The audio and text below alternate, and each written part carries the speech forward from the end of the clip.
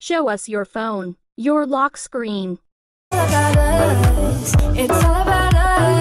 Now your home screen. Yeah. Oh, oh. Your last photo in your gallery. and And now your Roblox avatar.